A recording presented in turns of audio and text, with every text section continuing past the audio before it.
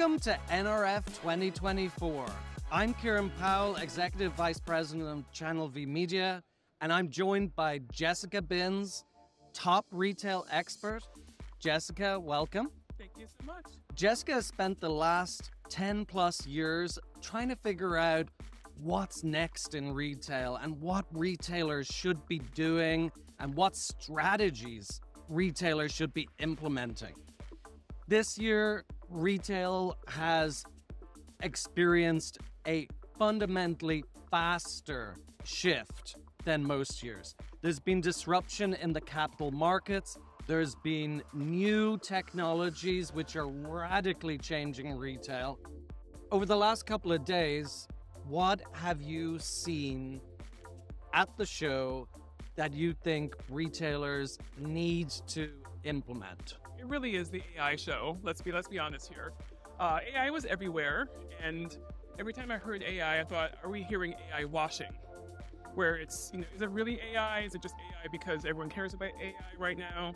It's hard to say, but that was really one of the big trends. Is AI has been around for a long time, Yeah. but it does feel like the technology is evolving more quickly. We do have to be careful to not conflate AI with Gen AI or Gen AI. Two very different things. AI has been here forever. That's you know your personalized emails. That's that's AI in the background. But it's Gen AI that's getting people excited because of the capabilities that it offers. One of the interesting companies I spoke with was Coveo. They're into AI personalized search. They were very strong about saying we've been doing AI for so long that they really do believe in the power of their platform and how that delivers actual results for, for consumers and for brands alike. They're delivering the most relevant products that people are looking for, and they can also d- uh, de- deliver in adjacent categories and, and create that uplift that brands are always looking for. So that was kind of one of the interesting companies that had something that I think every retailer and e-tailer really needs right now. What we do at Coveo is we ground that generative AI, the LLM, as we call them, the large language model, into the customer content. So we will use, in this case, rich content as well as product content, and we will ground the LLM. By grounding, what we mean is we will tell the LLM that there is really a defined boundaries that it cannot go beyond. So we cannot hallucinate like ChatGPT does, where it goes, you know, and it, it grabs content from everywhere, and then, you know, the answer you receive is not absolutely accurate. Uh, we make sure that what we receive is accurate, is based on the knowledge that you've produced, and we summarize it and use it for education. And then you can see there at the bottom some of the products. So we then use that knowledge to recommend products that it, that are also from uh, the catalog of our of our customers. So everyone's talking about generative AI. Can you tell me a little bit about Vision AI? Sure. Vision AI is the ability to take whatever's happening visually and turn it into actionable data. It's not just a streaming video, but what's happening? What's on shelf? Who's there? How long are they looking at it? That's what Vision AI is. How do I turn visible activities into actionable data? With Vision AI, wh- what are you hearing from retailers? What what kind of like trends are they seeing that Vision AI is able to help them with? Good question. So, lots of things are happening in retail shortages of staff, inconsistent amount of time to be dedicated to doing something maybe innovative.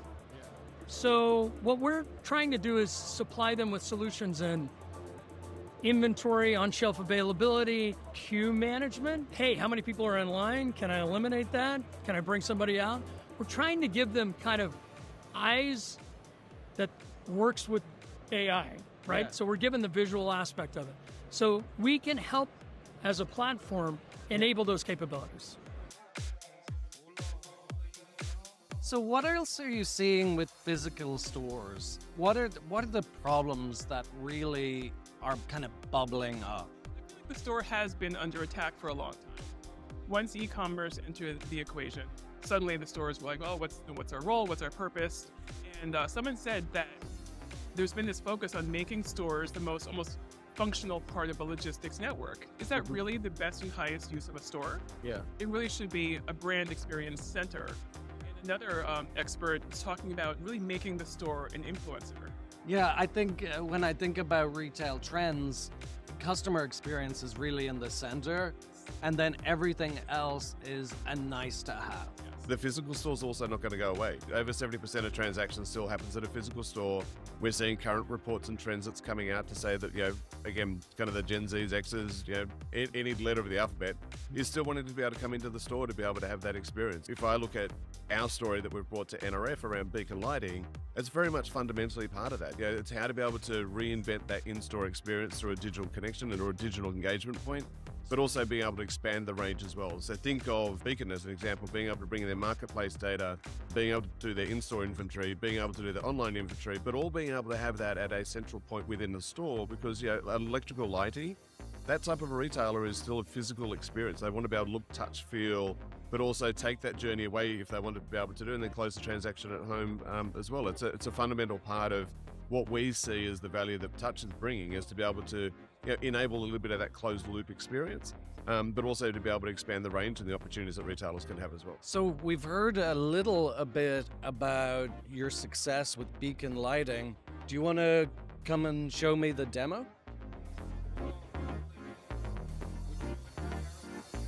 So we have over here the platform that is deployed inside of one of Beacon's stores and allows various uh, customers to come in and identify their needs, search for products. It's an in-store experience that extends what they may be finding in the uh, on their website, um, but then allows uh, the customers to also uh, model what they're looking for in their homes and then continue the transaction through a uh, um, checkout process.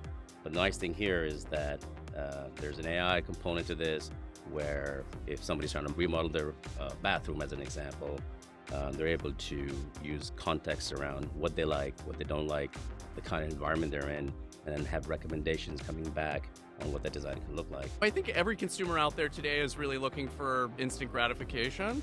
When they come into a store, they certainly want to be able to get the products on their list and they want to be able to find them easily. So at Simbe, we provide automated store intelligence solutions. We help retailers to ensure their products are stocked in the right place, have the right price. Our primary product is Tally, which you see here, which is a fully autonomous mobile robot platform uh, that operates in large format retail stores. It goes up and down the store aisles. It captures high quality 2D and 3D image data, which we process with our proprietary computer vision and AI. And then we provide critical insights to the retailer uh, to help them optimize restocking, reordering, uh, really how to maximize that customer experience. So when consumers come in, they really get the products they're looking for. When you think about the trends coming out of the NRF, what are you seeing in like instant gratification? Yeah, so I think uh, definitely to facilitate the checkout experience, right, uh, is something big. I mean, you've got so many big brands here that are, you know, helping customers check out faster. AI is helping make recommendations that increase sales. And this is the new Pi. And it's powered by the Qualcomm, the new Qualcomm chip, which just makes it super fast. Yeah, yeah, the chipset uh, 6490. So, what can this do that others can't? To be specific, uh, in F&B, for instance, it's a check-in, check-out uh, self-ordering system. It's got facial recognition and biometric recognition as well.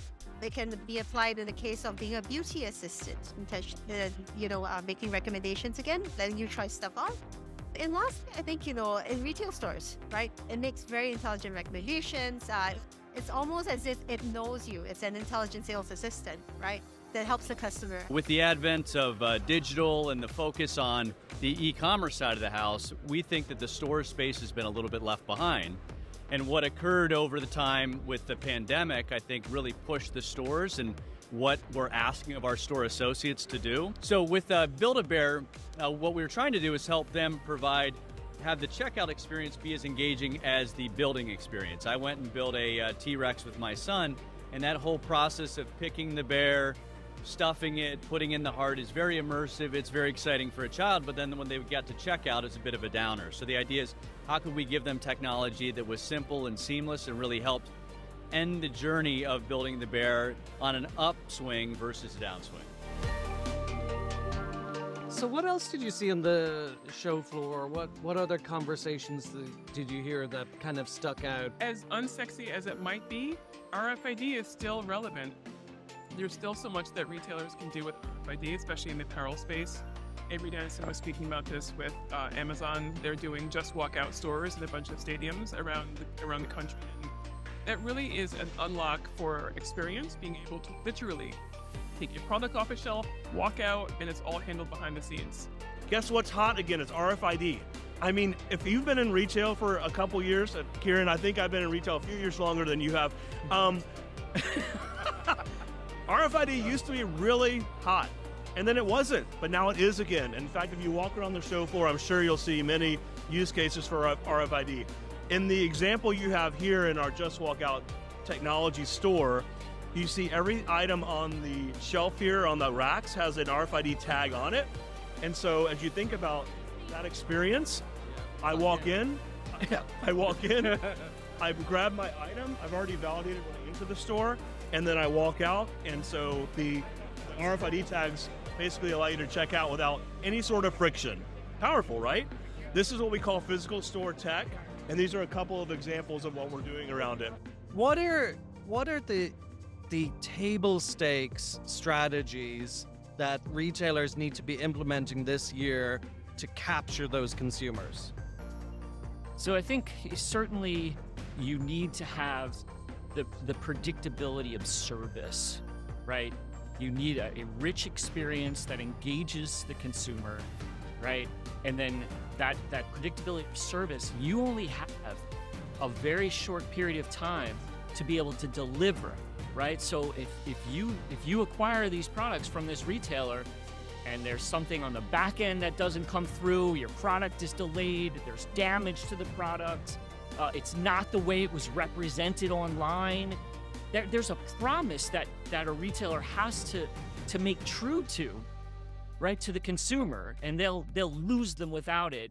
And if those broken promises happen, that can cause a, a significant degradation in the performance of that retailer business.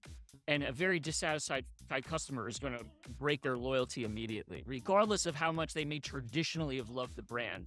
So so it's it's end to end. It's the experience up front, and then it's the delivery, the service that they're satisfied with the product and how it was given to them ultimately, and then how it how it feels, how it looks, how much did that match the experience of when they were interacting with the brands initially.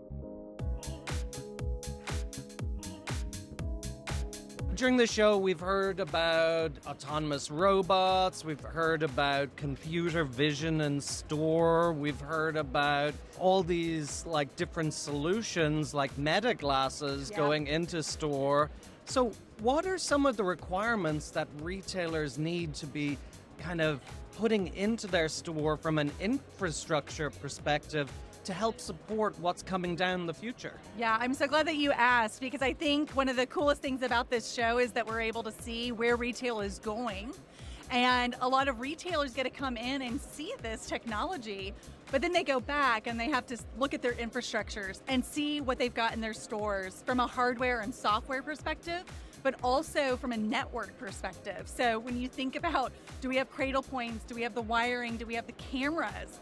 Can our hardware support this really cool technology and software that we just saw at the show? A lot of times the answer is no.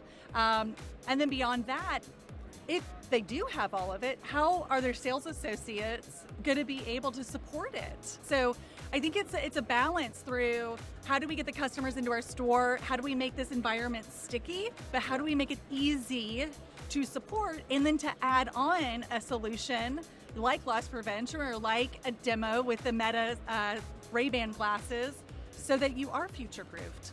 Well, thank you so much, Jay, and thank you for helping drive retail forward. Absolutely. So happy to be here and great to see you, Karen. I think I think that's a wrap. Like and subscribe.